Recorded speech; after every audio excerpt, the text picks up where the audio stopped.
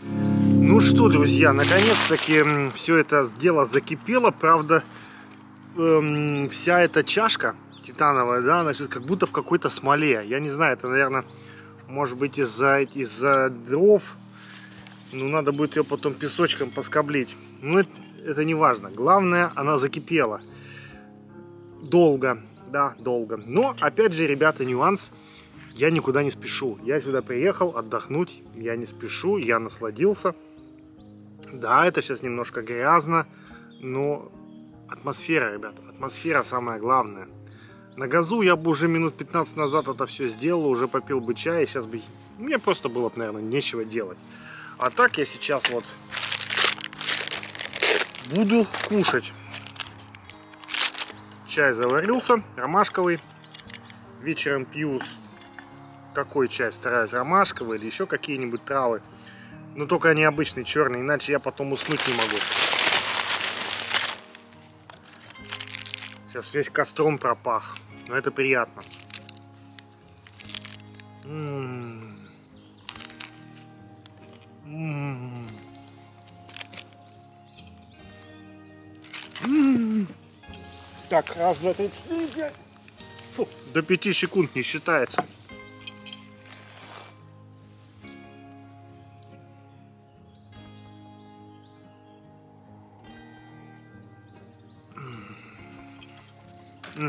Подсластить забыл.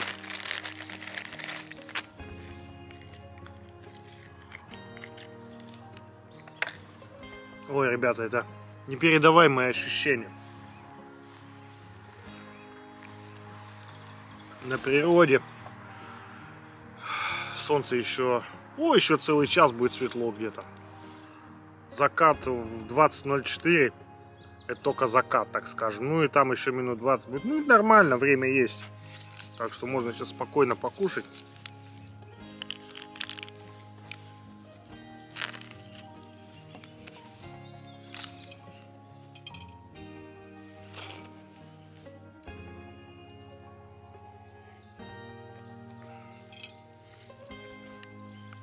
Еще раз, почему, ребята, я перехожу на спирт с газа? Газ, да, еще раз подчеркну, что газ очень удобно. Газ, он не везде продается и он дорогой относительно, скажем так. И согласитесь, да, брать с собой щепочницу и баллон газа, это как бы два дублирующих, ну, девайса, которые смысл с собой таскать, я не вижу. Что-то одного, в принципе, будет достаточно. Опять же, одну щепочницу взять, ее как бы одну, ну, недостаточно, да. Если бы сейчас шел дождь, я бы этого не смог приготовить. Пришлось бы что-то придумывать. Как-то по-другому выкручиваться. Поэтому я решил взять себе... Сейчас, где она? Хм.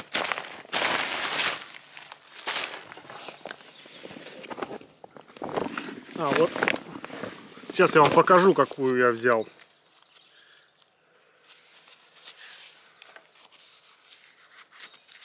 Вот такую вот штучку. Она простая, как, я не знаю, как автомат Калашников. То есть ничего замороченного. Тоже титановая штука, весит 20 грамм. И в купе вот с этой щепочницей ее можно использовать вот как ветрозащиту для вот этой штуки. Спирт он в Германии, в Европе, он очень доступный. Специальный спирт, его можно купить ну, в любом магазине, в любом супермаркете, на любой заправке. Этого добра навалом. И что самое главное, он стоит копейки. Литр спирта, вот я купил литр, я отдал 2,5 евро за литр спирта. Скажем так, я налил себе вот такую маленькую баночку, 250 миллилитров спирта скажем, завтра утром, если мне влом будет э, раскочегаривать эту щепочницу дровами, я сюда просто плесну, пам-пам, через 5-10 минут у меня приготовится вода, и я спокойно позавтракаю. Также я планирую еще же в Скандинавии, а в Скандинавии тоже доступность спирта, я узнавал, она адский. Ну, в общем, везде можно купить. Поэтому, ребята, если вы собираетесь путешествовать в Европу, подумайте, насчет спиртовых горелок. В Европе вы, у вас с этим проблем вообще не будет. На Алиэкспрессе есть всякие там и дешевые, и дорогие, и какие хочешь. Там за, за пару баксов можно взять нормальную спиртовушечку. Если поискать.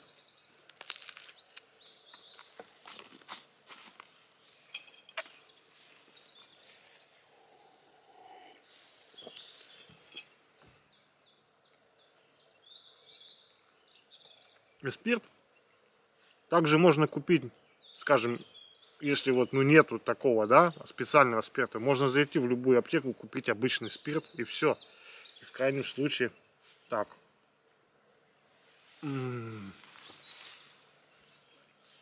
Это невероятно классный ужин сейчас.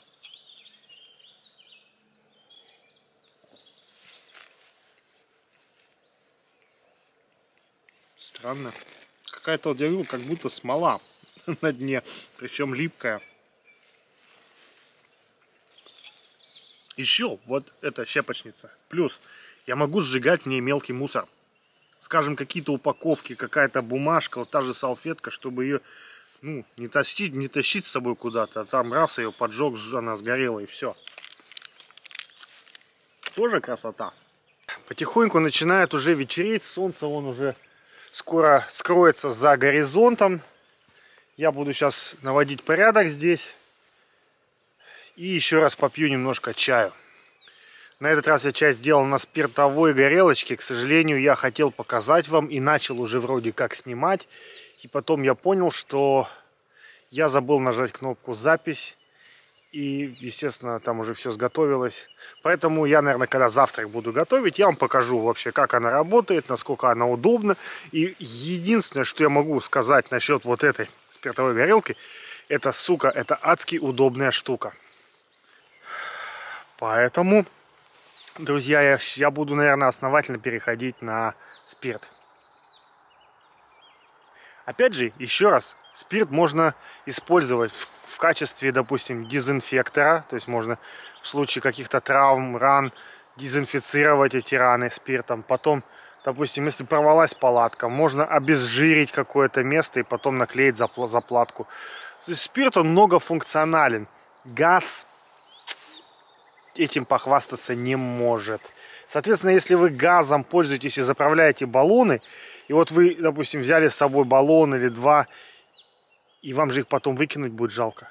Вам же их придется тащить домой, чтобы дома их заправить. А это лишний объем, лишний вес. Кому нахер нужен? Кстати, ребята, заметили, я теперь снимаю себя без всякой тряски. Я себе купил этот, наконец-то, трехосевой электронный стабилизатор и сейчас снимаю непосредственно с него. Поэтому кадры должны быть э, заметно лучше в плане стабилизации. Естественно, мне еще надо учиться, как это все грамотно снимать, подавать, вот это все. Я учусь, ребят, поэтому сильно там не пинайте за качество контента. Я стараюсь. Давайте немного вернемся, что ли, на ту сторону. Озеро сходим, посмотрим, что там. Ну, озером назвать, конечно, эту лужу э, можно так с натягом. Но ну, место обалденное, уединенное. Тут дорога, в принципе, недалеко, метров 200. Но дорога такая, знаете, по которой, в принципе, никто не ездит. Вот, смотрите, тут такая как бы... Выглядит так немножко все дико. И в то же время не дико. По приколу. Так.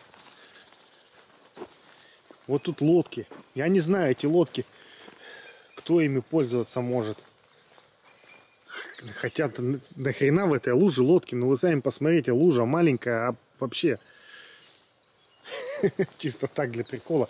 Вот это, кстати, вот это, кстати, это плод. Это, ребята, плод.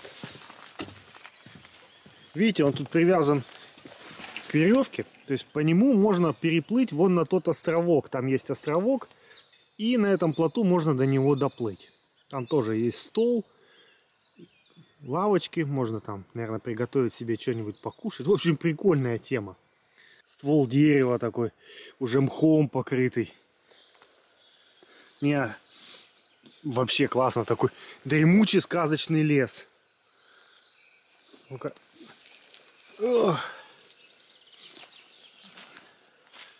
Не чисто по приколу здесь, мне нравится. Да, был бы налегке так полазить здесь. Ну такие, такая гуща здесь, чаще, прям вообще классно. Ух, шик. Ладно, пойдемте обратно. Так, как бы тут так обратно-то. Реально вот ощущение такого дикого леса. Охеренно. Это я только тут с краю был. Так. Вот в Германии умеют сочетать вот дикую природу, да, э, с облагороженной. Все как-то вот сочетается. Умеют одним словом. Так, время 12 минут 9, а еще как светло. Красота. Поэтому хочу немножко, насколько это возможно, побыть на улице, насладиться. А потом в палатку пойду. Хотя уже, знаете, уже стало намного прохладней. Я бы сказал, прям прохладно стало. Ночью обещают 0 градусов. Ну, я, в принципе, хорошо экипирован, так что, думаю, не замерзну. Я, когда в феврале на этом месте ночевал, здесь местами лежал снег, вот это озеро, э, оно было полностью покрыто льдом, замерзшее. То есть накануне, когда я сюда приехал, накануне здесь было минус 10, а когда я приехал, здесь было где-то плюс 5 ночью. Но земля была промерзлая. Я еще с летним ковриком спал. Угу, жесть. Палатка еще была маленькая, одноместная, которая, знаете, такие, как на трекинговых палках, которые растягиваются. Ну и всю ночь лил дождь, всю ночь. Влажность была конкретная. Ничего, тоже по-своему кайфанул. А, есть видос на эту тему с этой поездки. Я ссылочку там куда-нибудь в уголок, там слева-справа, там я не помню, размещу. Кому интересно, жмакните и посмотрите тот видос. Да. Интересно даже, думаю, вам будет посмотреть, как здесь выглядело это все зимой, в начале февраля, и как это сейчас выглядит. А летом здесь, наверное, будет все вообще бомбезно. Сейчас еще э, не хватает листьев на деревьях, то есть деревья еще голые спасает хвоя. Хвойные деревья, они же всю зиму зеленые, поэтому как бы ну, атмосфера такая нормальная. А летом здесь, наверное, вообще бомбезно будет. Я сюда буду чаще приезжать. Э, дело в том, что у меня в этом регионе, недалеко отсюда, живет дочь, живет у своей матери.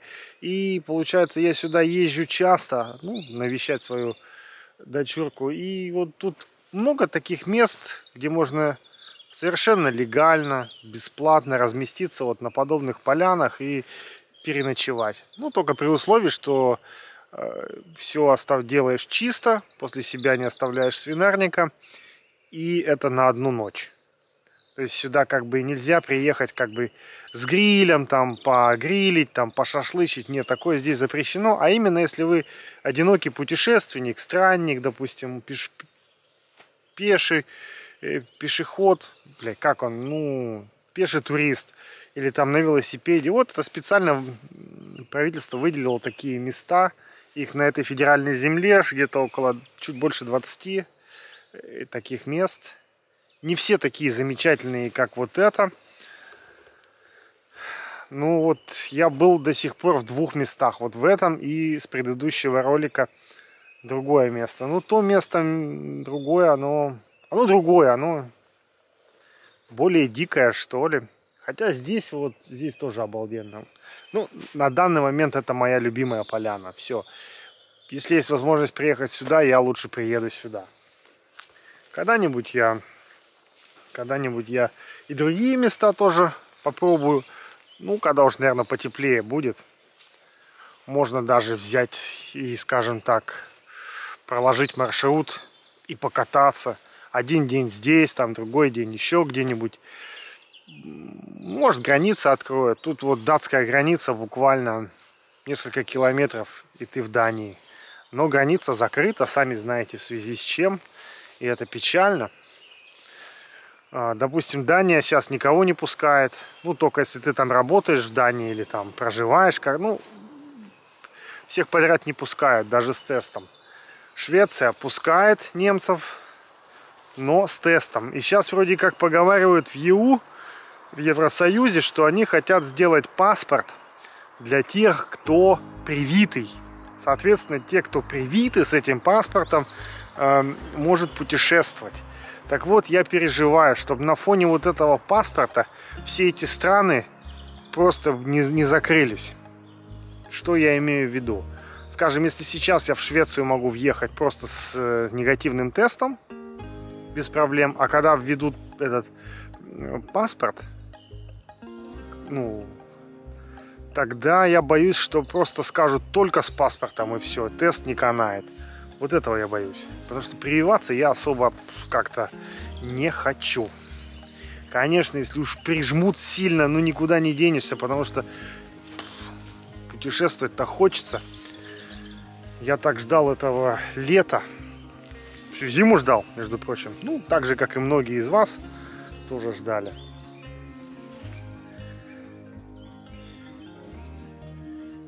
Ну, погода, погода. Вот, знаете, честно, я сейчас я вот хочу прям вот, чтобы ехать так на мотоцикле, чтобы было просто тепло, и ты такой едешь на расслабоне, кайфуешь. Потому что вот если сравнивать сегодняшнюю поездку, я мерз. Местами я мерз. Потому что было очень сильно ветрено. Ветер был ледяной прям. Особенно когда вот с Берлина выехал. Я остановился на автобане, сделать паузу в туалет. Я снял балаклаву и прям вот ветер такой прям пронизывающий по голове был. У, неприятно прям. Да. Ну, я надеюсь, когда-нибудь эта зима, весна кончится и настанет замечательное, теплое лето, чтобы можно было налегке сесть на мотоцикл, так дрын дын дын дын дын дын дын дын дын дын дын дын и поехать. 啊。